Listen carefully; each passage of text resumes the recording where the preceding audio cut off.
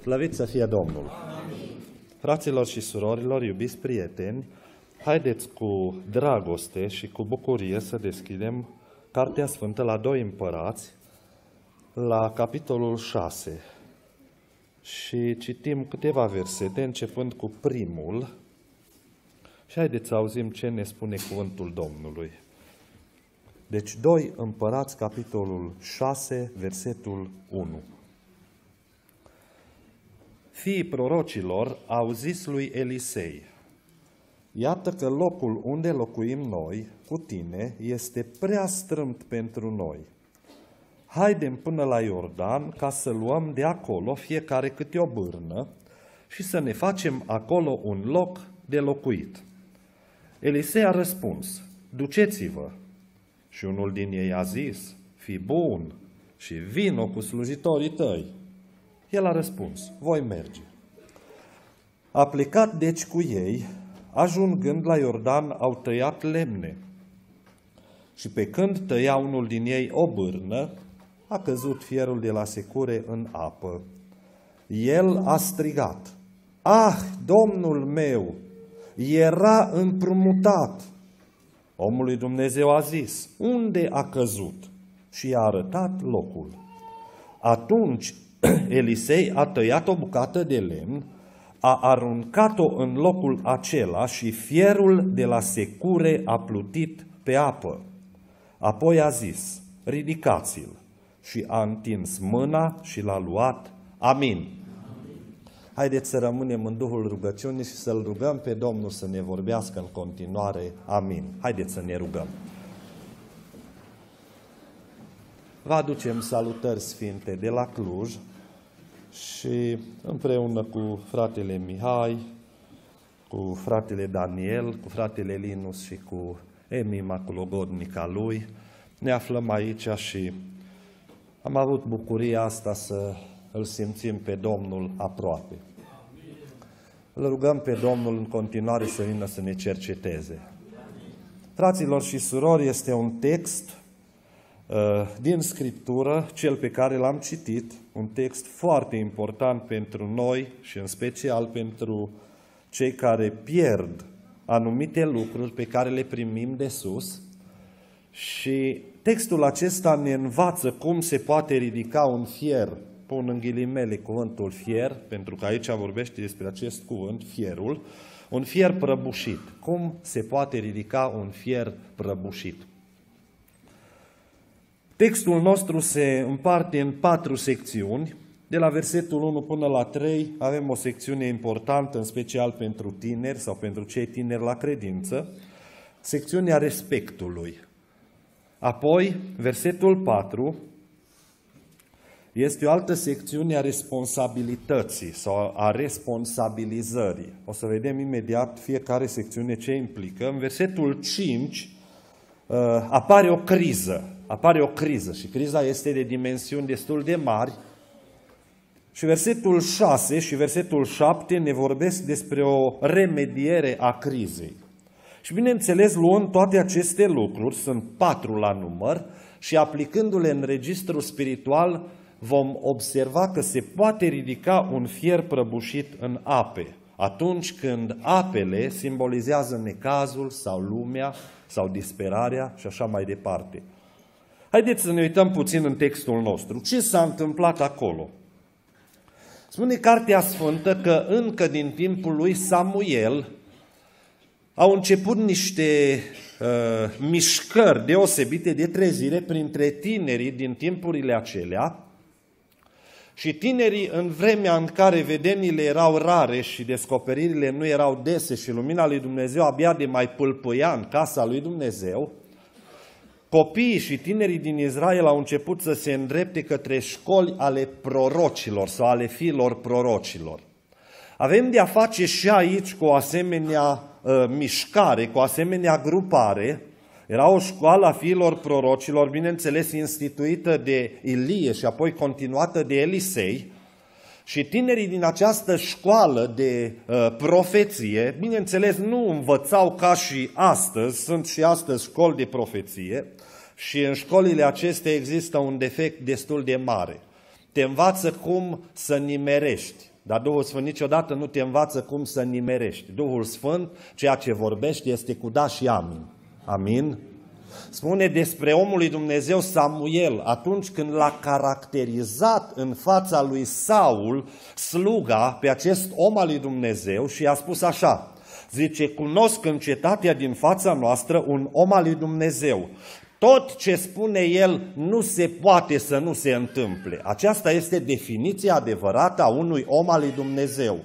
Un om al lui Dumnezeu, un profet, un proroc, nu le nimerește, că Duhul Sfânt al lui Dumnezeu cunoaște toate lucrurile pentru că este Dumnezeu. Și atunci când vorbește Dumnezeu, Dumnezeu este adevăr 100%. Amin? Așa că nu vă luați după cei care vă învață să prorociți nimerind. Să vedem dacă se împlinește, mai spun una, vedem dacă se împlinește și mergem bâșbâind că da, de da, de da, de vom deveni proroci. În felul ăsta ne murdărim cugetele și Dumnezeu ne poate lepăda chiar de la credință și de la mântuire. Și de aceea e foarte important să fim atenți. Ce învățau tinerii ăștia în școlile prorocilor e foarte clar, ne spune Biblia. Învățau cântări, Bineînțeles, erau deja alcătuiți pe timpul lui Elisei psalmii lui David, psalmii lui Asaf. Uh, bineînțeles, psalmii aceștia erau dați, dăruiți prin Duhul Sfânt și ei învățau cântările astea deosebite, învățau legea lui Dumnezeu. Și bineînțeles că pe aceeași uh, linie se înscria și prorocia. Și aveau îndrumători care îi sfătuiau și le spuneau, vezi că aici puțin, puțin ai greșit și ar trebui să spui altfel pentru ca Domnul să vorbească prin tine. Și erau îndrumați în special de prorocul Elisei. Ce s-a întâmplat? O școală de felul acesta, care avea tineri, la un moment dat ajunge într-o criză mică. Asta a fost mică, cealaltă a fost puțin mai mare. În, în cadrul acestei crize, ei au început să vorbească cu omul lui Dumnezeu, cu Elisei. Iată, spune versetul 1, că locul unde locuim noi cu tine este prea strâmt pentru noi.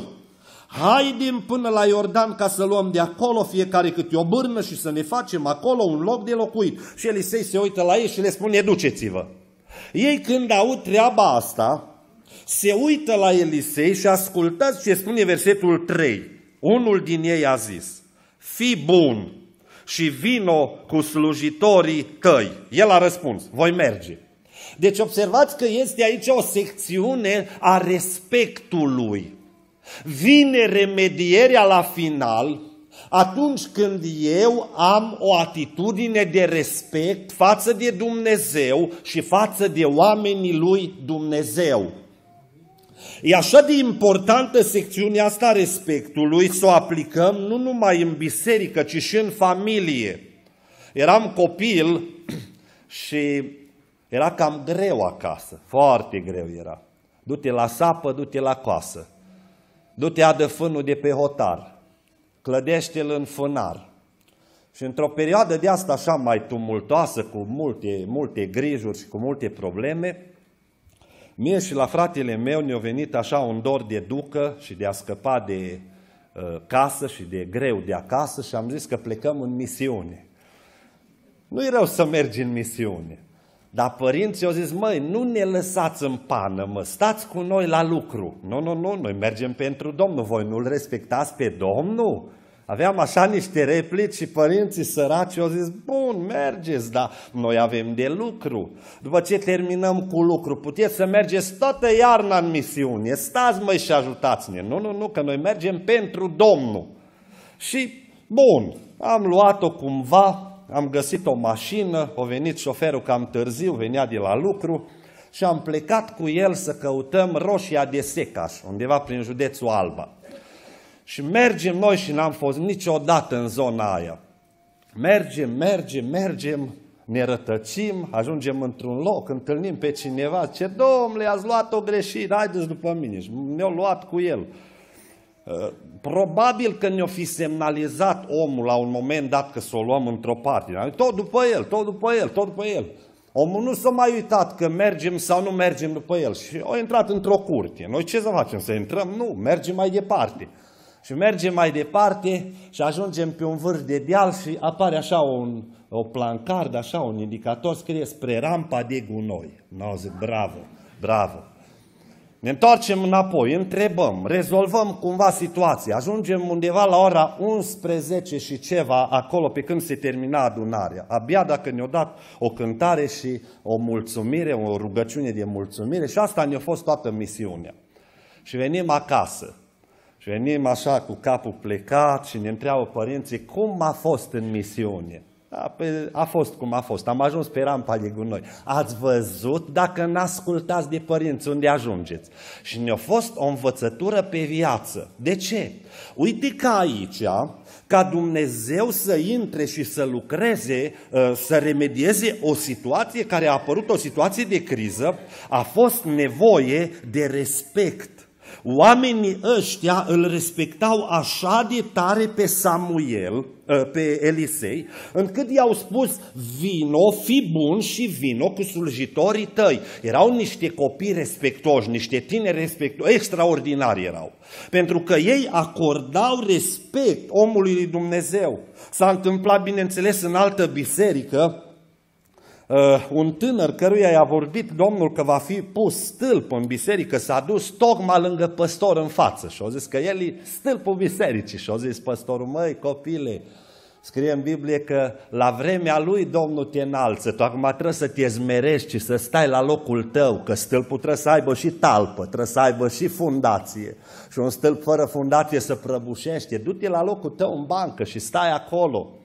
Ori vedeți ce importantă este secțiunea asta, capitolul acesta din viața noastră, respectul. Ne povestea un frate bătrân care e plecat la Domnul, că era un om al lui Dumnezeu care vorbea din partea lui Dumnezeu extraordinar de, de bine și de frumos și de, de deosebit. Era, îl folosea Dumnezeu și Dumnezeu când omul ăsta a plecat din lume, l-a luat și l-a pus în locul lui ca om al lui Dumnezeu pe un tânăr pe care nimeni nu-l băga în seamă. Tânărul ăsta când mergea omului Dumnezeu la Amvon, îi ținea pălăria. Așa drag avea în inima lui să-i țină pălăria. Când omul lui Dumnezeu se cobora de la Amvon, îi lua Biblia și o ținea și o ducea cu mare drag până acasă și dădea, mulțumesc, uite, am făcut și eu o slujbă pentru Domnul. Așa e de important respectul față de Dumnezeu, că haideți să intrăm puțin mai adânc în viața lui Elisei și să vedem ce om plin de respect.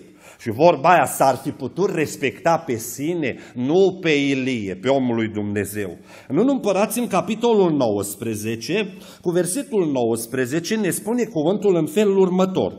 Ilie pleacă și îl găsește pe Elisei, fiul lui Șafat, arând. Înaintea lui spune versetul 19, erau 12 perechi de boi și el era cu a 12-a. Deci gândiți-vă, uh, să spunem așa, ce ai face să întâlnești astăzi pe un om care are 24 de tractoare? Că așa era un bou echivalent, să spunem atunci, cu un tractor. Să aibă omul două, și el să fie un fel de patron. Și să-l vezi că are șofer și are angajați, cum era Elisei aici, în textul nostru, cu angajații.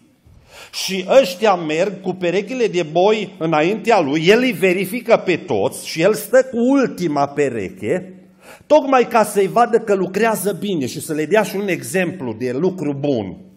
Și când vine un om prăfuit de drum, un om transpirat, un om comandat de păr, un om încins cu un brâu de curea de piele și omul ăsta care n-are pe spate decât mantaua respectivă, își ia mantaua de pe spate și rămâne gol, ca un iobag, ca o slugă, cea mai de jos slugă care n-avea atunci haine pe el, abia dacă avea câteva așa sumar, niște haine și îl bătea vântul și îl tăia ploaia. Și ia omul ăsta mantaua și o aruncă, spune uh, cap, uh, capitolul 19 cu 20, cu, cu 19, parte finală, își aruncă Ilie mantaua pe Elisei și în momentele acestea patronul de Elisei, marele Elisei, cel care avea avere multă, se uită la Ilie și spune așa, versetul 20, lasă-mă să sărut pe tatăl meu și pe mama mea și te voi urma. Elie îi răspunde, du-te și apoi întoarce-te, dar gândește-te la ce ți-am făcut. De aici deducem cât respect avea Elisei pentru oamenii lui Dumnezeu. O fi fost el bogat, avea el bani, avea el boi, avea el casă frumoasă, avea el părinți înstăriți, dar omul lui Dumnezeu era omul lui Dumnezeu. Domnul să ne vorbească fiecăruia. Ce diferență între el și copiii aia care se suiau la Betel și care când l-au văzut pe Elisei mergând pe drum, un bătrânel așa mai cocoșat, mai ca el și cu puțin păr pe cap, cu puțin păr pe cap. Suie-te pleșuvule, suie-te pleșuvule, suie și Elisei se întoarce și blastămă. De ce? N-aveau respect. N-aveau respect.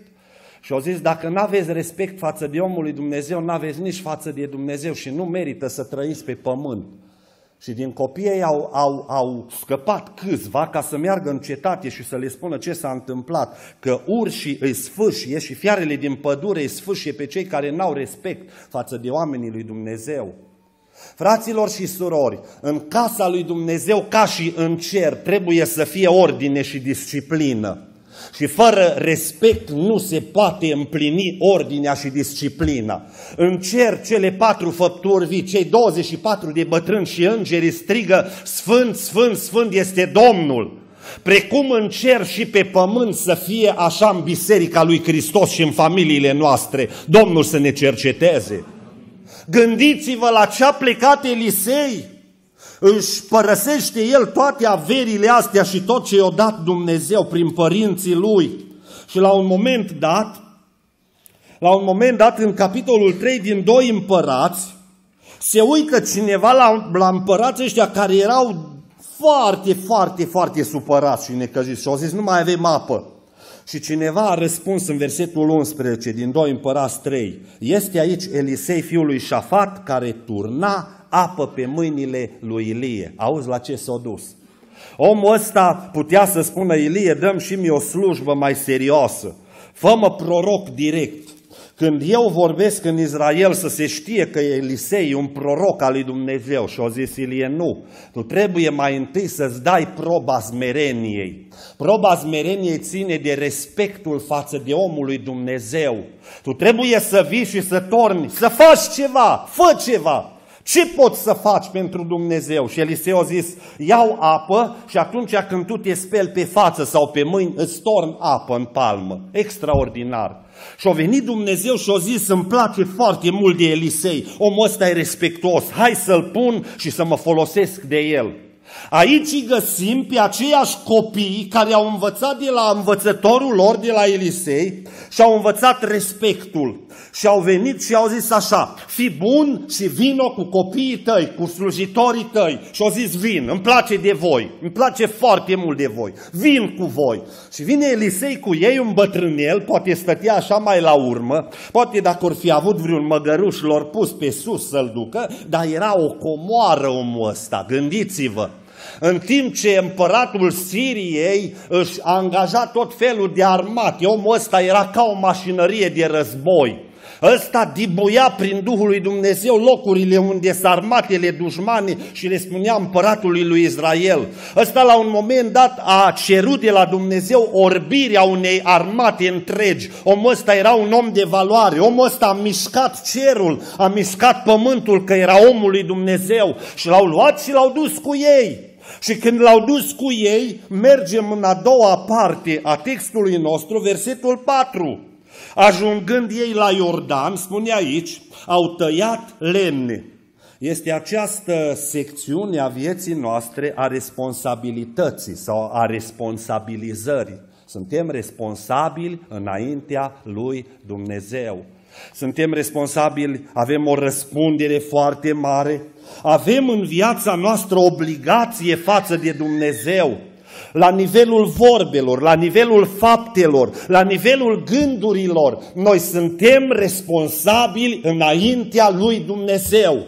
Tu știi că ești responsabil de vecinii de pe scara ta, Gândește-te că din pricina lui Lot care era în Sodoma, Dumnezeu n-a putut să trimită focul din cer asupra Sodomei, pentru că era acolo un om al lui Dumnezeu.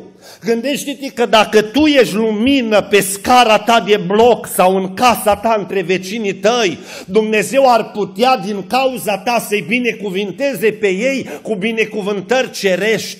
Așa de mare este responsabilitatea noastră încât Dumnezeu și-a lăsat comorile Lui cerești pe pământ, o să vedem imediat, și le-a așezat în niște vase de lut. Lăudat să fie Domnul! Că putea să caute o planetă îndepărtată de pământ unde să n-ajungă nimeni, nimeni, nimeni să-i pângărească comorile. Dar au zis, văd în Deva niște oameni, au niște inimi de lut, au niște inimi de carne, au niște trupuri slabe, dar în vasele de lut eu vreau să pun comoara mea și a pus Dumnezeu Duhul Sfânt în inima ta. Și Dumnezeu te-a ajutat să cânți în altă limbă, tu care nu știai nici în limba română să vorbești corect.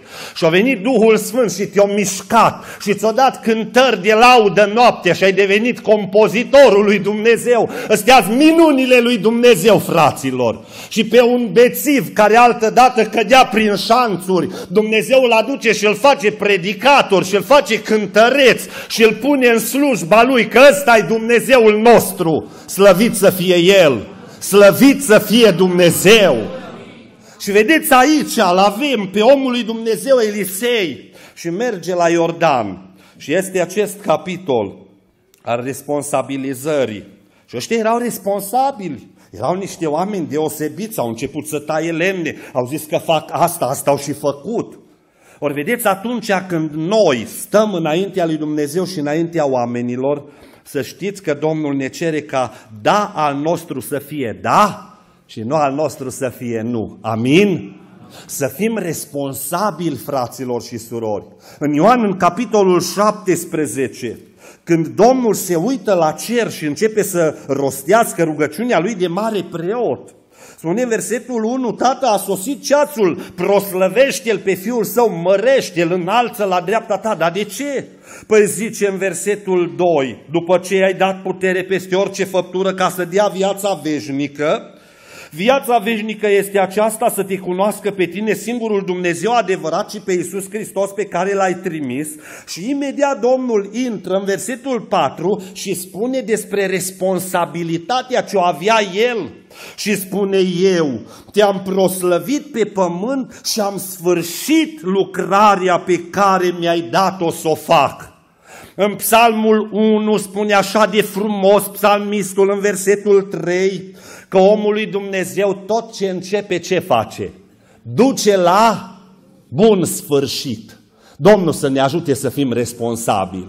Dacă ai început o lucrare a lui Dumnezeu, frate dragă, soră dragă, du-o la bun sfârșit, că așa este un om al lui Dumnezeu. Îi avem aici pe copiii ăștia și merg cu Elisei și spun, noi am pornit să facem ceva. Ce? Vrem să facem o casă.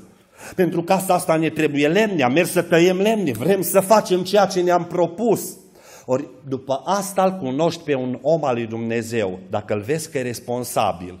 Și fraților și surori, e important să fim responsabili chiar și cu venitul la casa Domnului. Ne spune că într-o localitate cineva s-a pocăit din cauza că timp de 30 de ani la oră exactă, bătrânelul trecea pe la poarta lor, că am bătrânit omul, tot mergând la casa lui Dumnezeu am bătrânit și l-au întrebat ce ai casei, unde te duci? La casa lui Dumnezeu. Vrem și noi să venim, că ești foarte serios noi ne putem regla ceasul după mersul tău la biserică. Ești foarte serios. Vrem să mergem să vedem unde tratezi tu cu atâta responsabilitate și respect și cu atâta obligativitate de sine tratezi tu lucrurile. Cine e acela în fața căruia te duci cu așa respect? Cine e acela la care te duci totdeauna la oră exactă? Păi Dumnezeul cerurilor, e creatorul meu. Și au venit oamenii la casa lui Dumnezeu și Domnul le-a vorbit. Doamne, cercetează-ne! Important și acest, această parte e foarte importantă, responsabilizarea. Apoi mergem mai departe și apare criza. Și ei taie lemne, bucuroși, poate mai vorbesc, poate cântă o cântare. La un moment dat se întâmplă ceva. Unul dintre ei are o secure și securia asta spune versetul 15, când tăia unul din ei o bârnă, a căzut fierul de la secure în apă. El a strigat, ah, Domnul meu era împrumutat. Gândiți-vă ce raritate era o secure în vremurile acelea în Israel. De vreme ce 1 Samuel, capitolul 13, cu versetul 20, dacă nu greșesc, Spune acolo că evrei se duceau la filisteni cu securea, cu sapa și așa mai departe ca să își ascută tăișul. Ei n-aveau, n-aveau fierari acolo între ei. Era o societate de agricultori, de oameni care râdeau cu sapa și de păstori, de oameni care mergeau pe câmp cu oile. Asta erau ei. Și n-aveau oameni care să meargă și pur și simplu să prelucreze fierul. Și vă dați seama atunci când, gândiți-vă ce tragedie ar fi fost pe vremea comuniștilor, să nu existe mașina Dacia la noi în țară și să încerci să aduci cumva de peste graniță câte o mașină așa cum puteai și să ai și o mașină în țară. Era foarte greu. Și că aveam Daci și puțini erau cei care aveau mașină în țară. Gândiți-vă ce greu era în casa lui Dumnezeu atunci când trebuiau lucrurile sfinte și vă dați seama, acolo trebuiau furculițe, trebuiau tot felul de lucruri cuțite, să iei lucrurile astea și să le duci la filisteni să le ascultă. Foarte greu. Și securia asta era o raritate și ăsta a împrumutat-o, probabil de la un prieten care era mai bogat și și-o permis să o cumpere. În momentul ăsta, ce, po- ce poate el să facă cu o dărabă așa, cu o bucată de lemn și să o ducă la prietenul, să-i spună, îmi pare rău, fierul tău e undeva în Iordan, acolo pe fundul Iordanului și nu mai știu cum să-l scot de acolo. Du-te și rezolvă problema. Că vedeți, se cam întâmplă lucrul ăsta totdeauna când împrumuți ceva, se strică la tine. Nu știu de ce e așa, poate că Domnul vrea să ne vorbească nou, în special să nu prea luăm lucruri împrumut, dar s-a întâmplat. Era luat împrumut, fierul cade și omul ăsta trasează așa un, un semnal, trage un semnal și spune, ah, Domnul meu era împrumutat și pornește criza. Fraților și surori, ceea ce vreau să vă spun și cred că Domnul vrea să ne vorbească în seara aceasta, este că sunt o serie de lucruri pe care noi le împrumutăm. Și o să vedem imediat ce lucruri împrumutăm și cine este cel care ni le dăruiește în împrumut. Vine omul lui Dumnezeu, pentru că vreau să termin exact în cheia în care am început, versetul 6, și aici deja de la versetul 6 la 7 apare remedierea. Vine omul lui Dumnezeu și notați că numele Elisei înseamnă Dumnezeu este salvare. Vine omul lui Dumnezeu Elisei și întreabă așa, unde a căzut? Și vine făptașul și zice aici. Când zice aici, Elisei spune versetul 6, a tăiat o bucată de lemn, a aruncat-o exact în locul acela și fierul de secure a plutit pe apă. Culmea, culmea.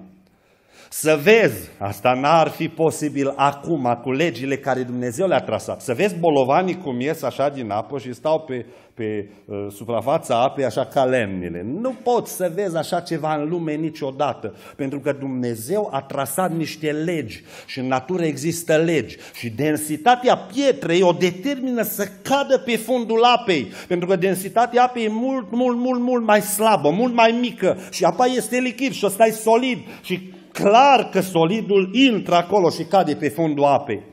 Și vine Elisei, omul lui Dumnezeu, aruncă o bucată de lemn și culmea biruie forța gravitației, forța densității, mărimea densității, o biruie mișcarea asta lui Elisei și fierul încet, încet, încet iese și plutește pe apă. Și Elisei se uită la om și spune, știi ceva, ridică-l. Omul îl prinde, îl ridică, îl pune înapoi și slăvit să fie Domnul că s-a rezolvat situația. Acum, fraților și surori, haideți să revenim la noi, că ne trebuie ceva practic. Asta ce am spus până aici a fost din textul nostru o interpretare literală, am mers pe istorie, pe firul istoric și am văzut ce s-a întâmplat acolo. Ce se întâmplă în viețile noastre? Ce se întâmplă? Dacă noi avem respect față de Dumnezeu și de oamenii lui Dumnezeu, am insistat puțin pe linia asta, dacă noi suntem responsabili în lucrarea lui Dumnezeu de ceea ce Dumnezeu a făcut în dreptul nostru și tot ce începem ducem la bun sfârșit, s-ar putea să vină Dumnezeu într-o situație de criză și să ne dăruiască un remediu sfânt și bun și deosebit. Auzeam de o întâmplare din uh, zona Lugojului, În zona Lugojului a apărut o criză într-o familie. Putem să numim criza asta un fier prăbușit. Un om de la țară și-a vândut uh, casa și-a cumpărat 100 de oi și s-a gândit el că în timp, stând în chirie la oraș cu familia, o să progreseze din punct de vedere material, financiar și va putea să-și cumpere o casă și să trăiască tihniți și liniștiți acolo. Dar ce s-a întâmplat, ce nu, omul nu prea avea experiență în ale păstoritului și oile lui au mâncat grâu care era tratat pentru toamnă și au murit. Greul acela care îl seamănă oamenii avea probabil pe el ceva o travă pentru rozătoare și oile au mâncat și au murit. Omul ăsta a rămas pur și simplu într-o criză. Un fier prăbușit era în familia lui, în viața lui, în mintea lui, în inima lui și era disperat. Și la un moment dat s-a gândit, s-a gândit chiar la un lucru chiar imposibil pentru un copil al lui Dumnezeu. Se gândea el să meargă și să facă ceva rău, adică să-și facă rău și să audă autoritățile și măcar în urma morții lui, o moarte cruntă, în urma morții lui să ajute familia și să le dea o casă, să lase probabil un bilet și să spună acolo necazul și durerea inimii lui. Dar Dumnezeu nu l-a lăsat. Era fratele din Lugoș, pe care poate unii l-a știut, fratele Ștefan, și primește o telegramă direct de la Duhul Sfânt din cer și Duhul Sfânt îi spune să iasă din casă și să plece. Și iese și se duce. Se duce, se duce, merge, merge și ajunge la marginea orașului. La marginea orașului era acolo uh, o priveliște destul de tristă. Era toamnă târzie, niște baloți așa de paie puși unul lângă celălalt, o colibă făcută așa din paie și în fața ei un foc mic, o femeie care încerca să încălzească mâncarea și un om disperat aproape. Când ajunge fratele în dreptul lui, Duhul Sfânt coboară peste fratele, îi dă un mesaj – și Duhul Sfânt începe și vorbește. Să nu-ți faci niciun rău. Pentru că așa vorbește Domnul. Fraților, să punem cont și să ținem cont că așa vorbește Domnul și astăzi. Și ceea ce Dumnezeu vorbește se împlinește, fraților. A zis, așa vorbește Domnul, așa a zis Duhul Sfânt. Să știi că problema ta se va rezolva în scurtă vreme, dar tu să nu-ți faci nici un rău. Și a plecat fratele. Bineînțeles, a aflat întâmplarea tot și ajunge fratele Ștefan acasă, liniștit, Domnul a vorbit, Domnul va împlini. Se roagă, bineînțeles, și ce se întâmplă? La noi în Cluj. Și fratele care mi-a povestit întâmplarea trăiește. La noi în Cluj, la un frate prezbiter de la noi din Albini, Vine cineva din uh, nordul Europei, probabil Norvegia, Olanda, nu știu, de undeva de acolo, din nordul Europei, și aduce o traistă. Și în traista asta erau bani, erau așa fișicuri de bani. Zice, frate, mi-a dat domnul sarcina să aduc traista la adresa dumitale. Dar ce să fac cu ea? Zice, nu știu, asta știe Domnul și tu roagă-te să-ți vorbească Dumnezeu. Și fratele se pune pe post, pe rugăciune și noaptea are un vis și în visul lui ce credeți că a văzut? O tablă. Și pe tabla asta scrie Lugoj. Când vede tabla asta știe că Duhul Sfânt îl trimite la Lugoj. Ia traista cu banii, merge la tren și pleacă la Lugoj. Când ajunge la Lugoj, merge tocmai la fratele Ștefan, care era păstor și proroc. Îl cunoșteau, se cunoșteau. Când ajunge la fratele și bate în poartă, în ușă, fratele deschide ușa și spune, ce faci? Ai adus bani. Ce frate, stai un pic. Am venit să te văd, nici măcar nu mă saluți. Nu, frate, zice, Duhul Sfânt ne-a vorbit că va trimite pe cineva să rezolvăm problema. Uite care e problema. Spunem noi în tonul textului de azi, există un fier prăbușit. Sigur, nu așa a zis fratele, dar înțelegem noi. Există o criză și criza asta este mare. Sunt copii care dorm pe, pe drum acolo și sunt la marginea drumului și sunt la marginea orașului și vine iarna și ăștia nu pot să se încălzească că dacă își dau foc la colibă, în ce mai pot să doarmă? Hai să mergem să rezolvăm, să remediem situația. Și priviți atunci când omul lui Dumnezeu este la dispoziția lui Dumnezeu, Dumnezeu rezolvă situațiile fraților. S-au dus și au cumpărat o casă și spunea fratele Presecant că le-au și rămas le-au și rămas bani ca să-și continue viața într-un mod decent înaintea oamenilor și a lui Dumnezeu. Ori vedeți ce s-a întâmplat aici? Respect față de omul lui Dumnezeu, responsabilitate față de ceea ce le-a ieșit pe gură și de ceea ce au vorbit. Criza, a apărut criza, fierul era prăbușit, dar imediat a apărut și remedierea și noi de aici învățăm ceva. Haideți să extragem câteva învățături pentru noi. Există, spuneam, niște lucruri împrumutate și cel care le împrumută oamenilor și oamenii nu își dau seama și nu realizează de asta, este Domnul Dumnezeul cerului și al pământului.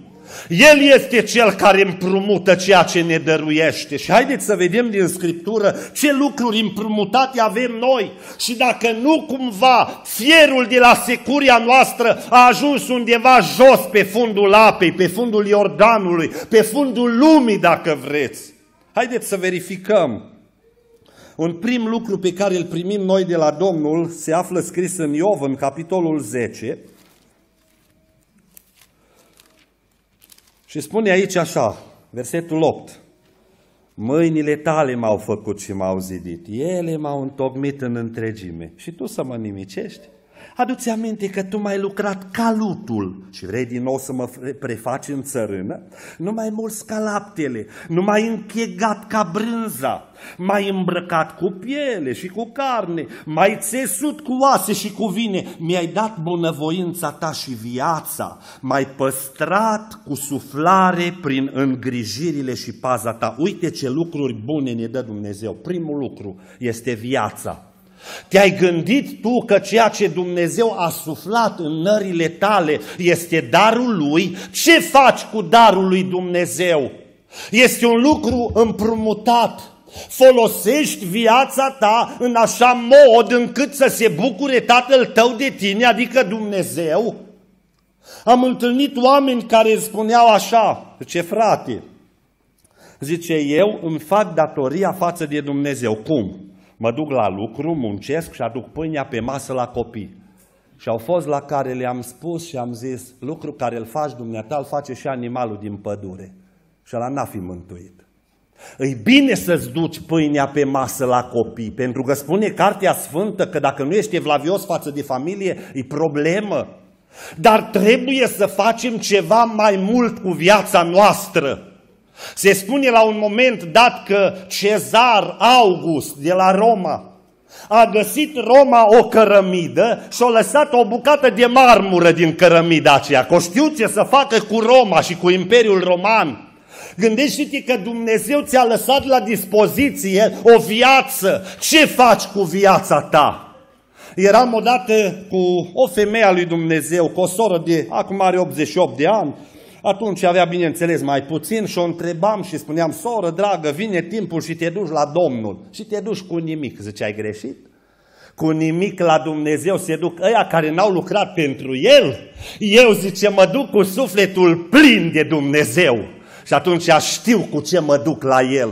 Ori Dumnezeu mi împrumută viața și ție ți-o dat viață. Și tu până astăzi ai suflat miliarde de suflări ai, ai, ai, ai adus înaintea lui Dumnezeu, pe altarul lui Dumnezeu și Dumnezeu a văzut și a zis mai suflă. I-a spus inimii tale, mai bate, miliarde de litri de sânge a pompat inima ta de-a lungul vieții până acum și Domnul a zis, mai bate inimă, mai bate, mai du-te înainte, dar de ce?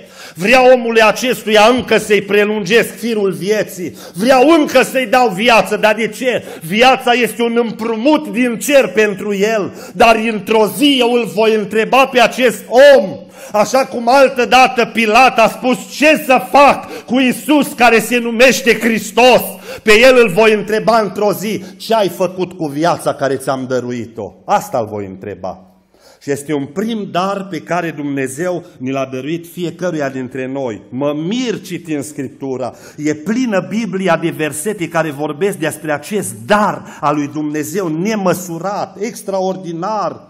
În psalmul 104 spune aici, toate aceste viețuitoare, versetul 27, te așteaptă ca să le dai hrana la vreme, le-o dai tu, ele o primesc, îți deschizi tu mâna, ele se satură de bunătățile tale, îți ascunzi tu fața, ele tremură, le iei suflarea, ele mor și se întorc în țărâna lor, îți trimiți tu suflarea, și suflarea aici este roah, adică Duhul. Ele sunt zidite și noiește astfel fața pământului. Ce faci tu cu viața care ți-a dăruit-o Dumnezeu, care ți-o dăruiește Dumnezeu în fiecare clipă? Ce faci cu viața ta? Dacă Dumnezeu ți-a dăruit în viața aceasta o cărămidă, ce faci din ea? O sfărâmi în bucăți? O arunci la porci? O dai la câini? O arunci în iad? Sau o faci ceva, o operă de slavă pentru Dumnezeul care merită lucrul acesta?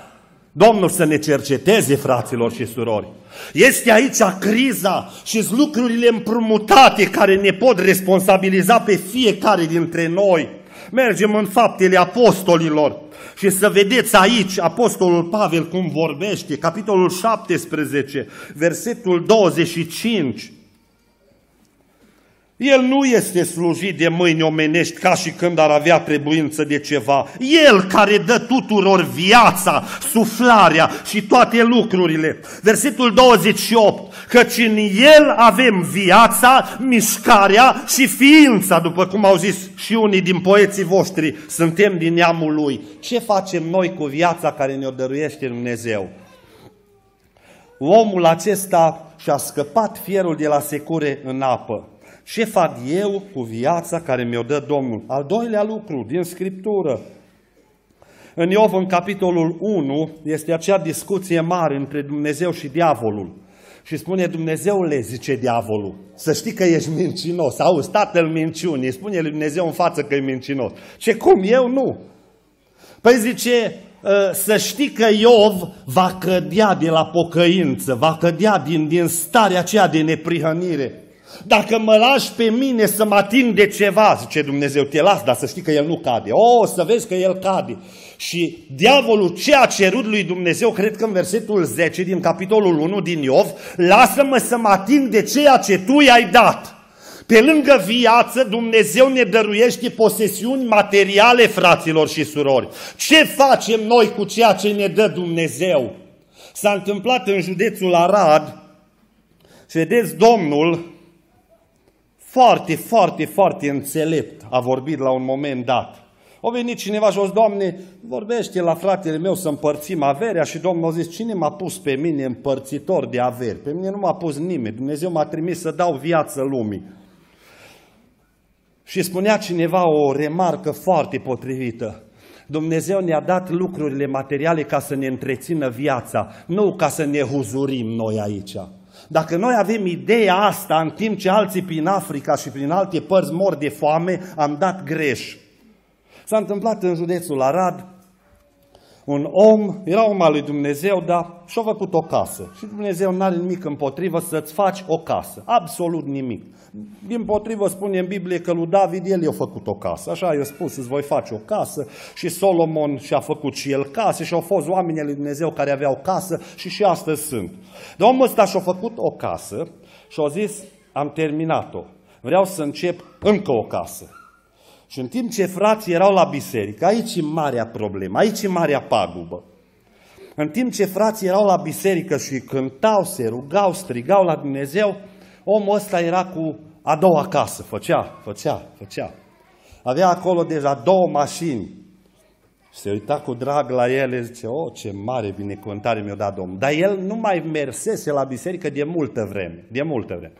Și frații se rugau, zice, Doamne, cercetează. La un moment dat, un vârtej de vânt și se aude o buvnitură și omul, după câteva minute bune, așa, intră în biserică schimbat la față, se așează acolo în spate, frații se uită interesant așa la el și îl întreabă, mă, dar ce s-a întâmplat? Cum de ai venit la biserică acum, la ora asta? Oh, fraților, ce am pățit, mi-a dat Domnul lecția.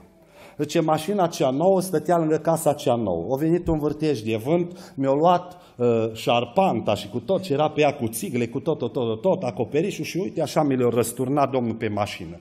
Și asta a fost un avertizment să vin la biserică și să las lucrurile pământești, că am destule.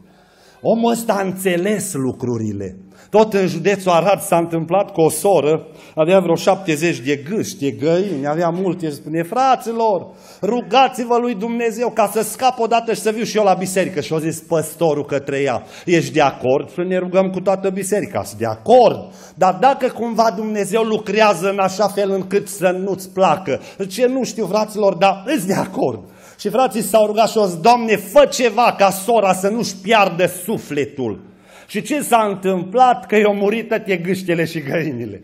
Și au venit la biserică și au zis, vai, vai, zice, dacă eram mai pocăită, îmi rămâneau și gâștele și eram și pocăită. Da, așa, asta e. Mi-a dat Domnul lecția. De ce? Lucrurile materiale sunt lucruri împrumutate. Trei, al treilea lucru.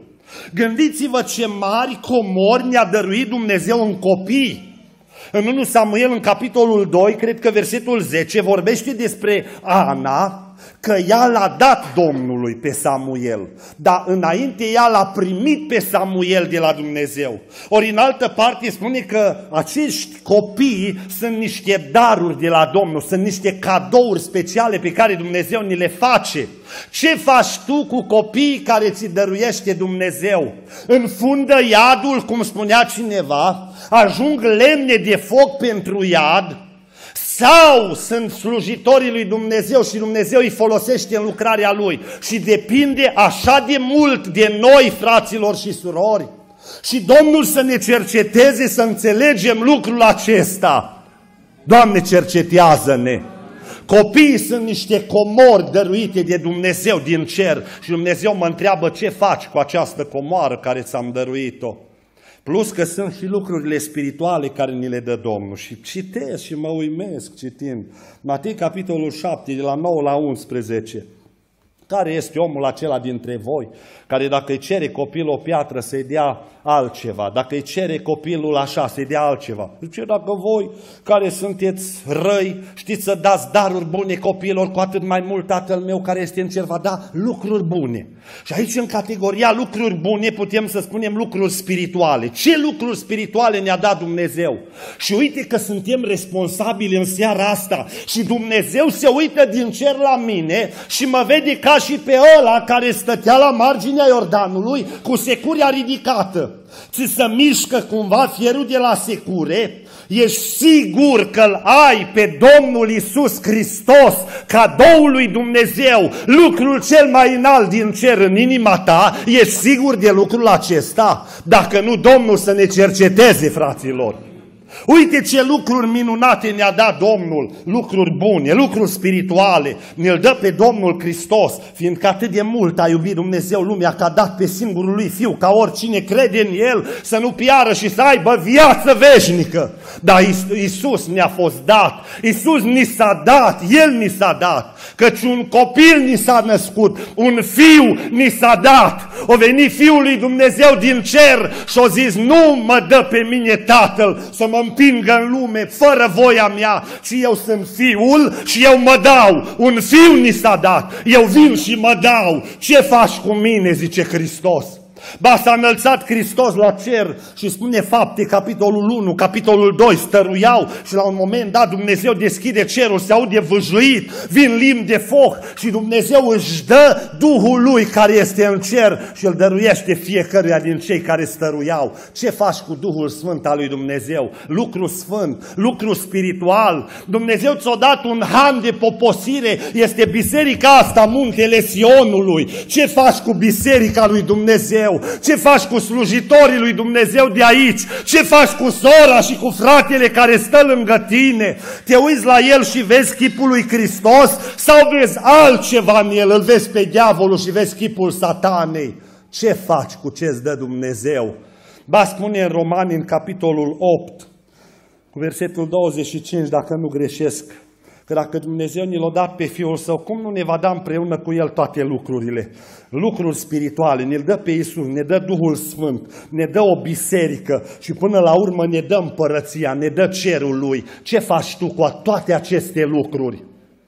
Și uite că apare în criza asta și un remediu.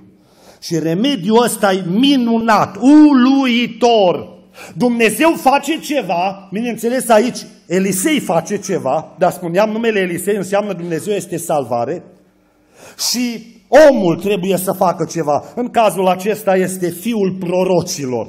Ce face Dumnezeu și ce face omul? Elisei se deplasează și merge pe marginea Iordanului. Dumnezeu din cer s-a deplasat și a coborât din slava lui pe pământ. Uite ce a făcut Dumnezeu. A ales un loc și a zis pământul, cobor pe pământ. Doi, ce face Dumnezeu? Elisei se duce și este cel mai special dintre fiii prorocilor, este în mijlocul lor. Dumnezeu coboară din cer pe pământ, a venit la ai săi, ai săi nu l-au primit, dar tuturor celor ce l-au primit, adică cred în numele Lui, le-a dat dreptul să se facă copia lui Dumnezeu. Și cuvântul s-a făcut trup, Ioan 1 cu 14, și a locuit printre noi plin de har și de adevăr. Asta o face Dumnezeu, asta o face Isus. Și pe lângă toate lucrurile astea, când apare criza, Elisei spune, dați-mi un lemn. Și ne aducem aminte, Luca îl surprinde pe Hristos în timp ce urcă dealul căpățânii și plâng femeile. Spune, nu mă mai plângeți pe mine. Dacă se fac lucrurile astea lemnului verde, pomului verde, ce se va întâmpla cu cel uscat? Eu sunt lemnul verde al lui Dumnezeu. Eu sunt cel care am venit de pe, din cer, de pe plaiurile cerului. Eu sunt pomul vieții coborât pe pământ, în așa fel încât lumea asta care e o pustie și în pustia asta este o apă și în apa asta a căzut un suflet, fie că a căzut viața ta, fie că a căzut poate copilul tău, fie că poate ai căzut din punct de vedere financiar și nu mai ai nimic, zice Domnul, eu am coborât și eu vin și lemnul cel verde se va arunca deasupra apelor și fierul va pluti pe, pe suprafața apei. De ce? Eu sunt cel care pot să rezolv situația. Ăsta e Dumnezeu, slăvit să fie El. Uite că Dumnezeu a făcut tot ce a ținut de El ca să salveze un suflet prăbușit în adâncimi, ca să salveze o situație de groază, de groază, de groază. Ce faci tu? Uite ce a făcut omul. Pașii pocăinței îi găsim aici în text. Recunoaștere, regret, renunțare. Sunt trei de re. Recunoaștere, regret, renunțare. Recunoaștere, regret, renunțare. Sunt toți trei pașii pocăinței aici. De recunoaștere. Vine Elisei și spune, măi, eu te-aș ajuta. Credeți că Duhul Sfânt nu știa unde era locul ăla? Dar zice Elisei, eu te-aș ajuta. Dar indică-mi locul în care a căzut fierul.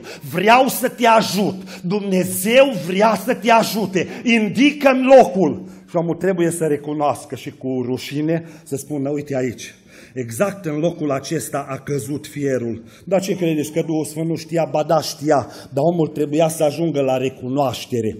Atunci când Dumnezeu vrea să vină în viața ta și să remedieze situația, Dumnezeu nu că nu știe ce ai gândit ieri sau astăzi sau alaltă sau acum 50 de ani, El știe totul, dar El așteaptă să-L chemi nu pe Elisei, ci pe Dumnezeul adevărat care este salvare și să-i spui, Dumnezeule, aici am păcătuit, recunosc, sunt un mincinos, sunt un adulter, sunt un hoț, sunt așa, sunt așa, sunt așa, locul unde a căzut sufletul meu este aici, aici, aici. Și în momentul acela zice, Domnul, îmi place de tine.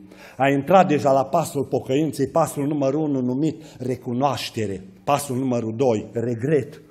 Ah, Domnul meu, spune aici, versetul 5, parte finală. Ah! Pe acest cuvânt, ah! Acest cuvânt îmi indică un regret profund. Îmi pare rău, eram promutat și să mă uit spre Dumnezeu din cer și să spun, mi-ai dat viața, mi-am pierdut 50 de ani, îmi pare rău, Dumnezeule, îmi pare rău, rezolvăm situația, ah, mă doare inima, îmi pare rău, regret, Doamne, eram promutat.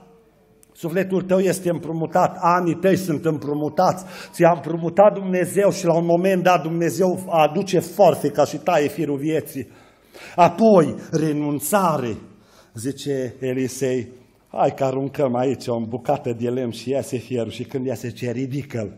Adică du-te tu și renunți la trecutul tău, renunți la greșeala ta, greșeala ta a fost că fierul juca în lemn și tu trebuia să-l fixezi mai bine, dar acum fă bine și ridică-l și rezolvă situația. Renunță la ceea ce ai greșit altă dată, repară lucrurile, fixează-l mai bine și dul proprietarului. Asta se va întâmpla într-o zi. Va veni marele proprietar Dumnezeu și te va întreba ce ai făcut cu viața care ți-am dat-o. Dacă tu n-ai avut cei trei de re, recunoaștere, regret, renunțare, îmi pare rău, zice marele proprietar.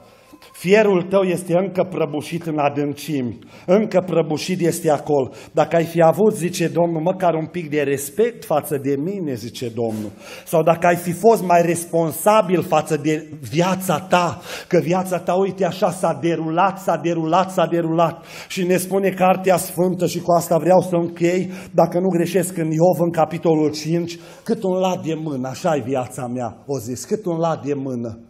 Păi cum îi latul de mână? Uite ce simplu e. Ești copil și degetul mic. Ești tânăr, ai ajuns la inelar, te și căsătorești, ai ajuns matur, deja ai copiii tăi și ai ajuns dincolo de maturitate, la treptele prime ale bătrâneții și ajungi în mormânt și te-ai coborât și te-ai dus. Și uite că viața e cât un lat de mână. Ce faci cu viața asta care ți-o dat Dumnezeu? Măcar atât să ne rămână în seara asta. Când ne uităm la mâna noastră să spunem, măi, uite pe unde îs unul să spună eu sunt pe aici că încă copil, altul să spună eu sunt tânăr, altul să spună deja am peste 40 de ani, altul să spună am peste 60, altul să spună am peste 70 și mă așteaptă veșnicia. Și vine Dumnezeu și spune, ridică fierul prăbușit până mai trăiești în lumea asta. Ridică fierul prăbușit în apă, care e viața ta, care sunt copiii tăi, care sunt posesiunile tale spirituale sau materiale, pentru că nu mai este mult și cel ce vine va veni și nu va va zăbovi. Domnul să ne cerceteze pe toți. Amin.